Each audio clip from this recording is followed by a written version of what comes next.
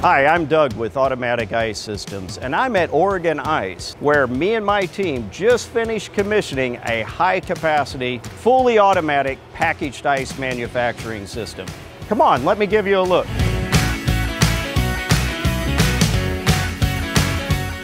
We're utilizing four Vogt P34 AXL high capacity ice makers, along with an AIS automatic refrigeration system to maximize the operational efficiency and reliability of this high capacity ice manufacturing platform. All components are engineered to accept additional growth in the future.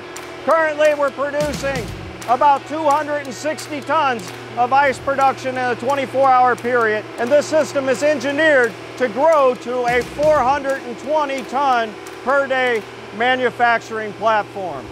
So what do we do with all this ice we produce? The ice is transferred through this custom screw conveying system into a 50-ton Keith walking floor transfer bin, which is housed in the room right next door to us.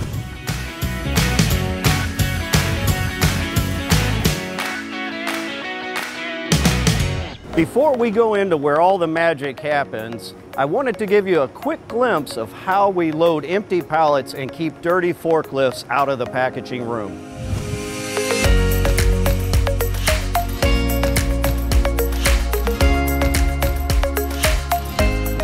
Okay, we're standing outside of the packaging and palletizing room where we produce up to 140 pallets of packaged ice products per 10 hour shift with no operator intervention. An operations technician is only required to keep film loaded on the packaging machines and to address any operational disruptions that may occur during this process of automation. Come on, let me give you a look.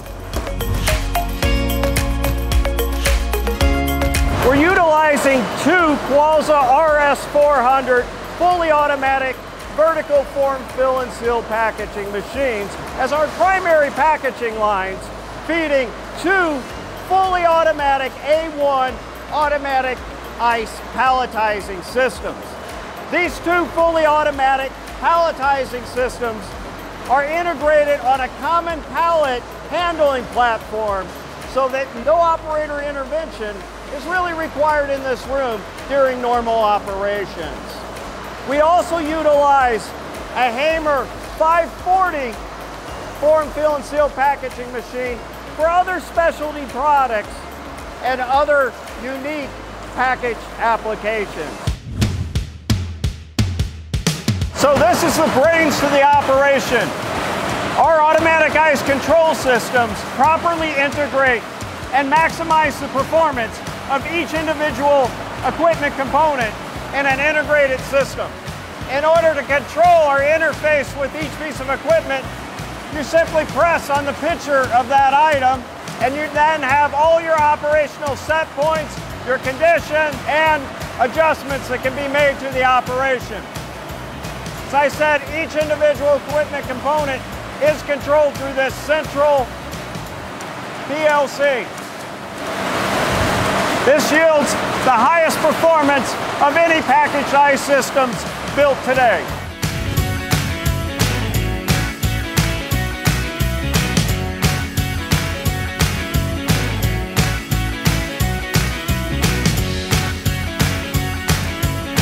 So here we are in the last room and the first time an operator is required to intervene in the process. Up to here, everything is fully automatic. We simply need someone to unload the finished pallets and stack them away in the freezer for distribution at a later date.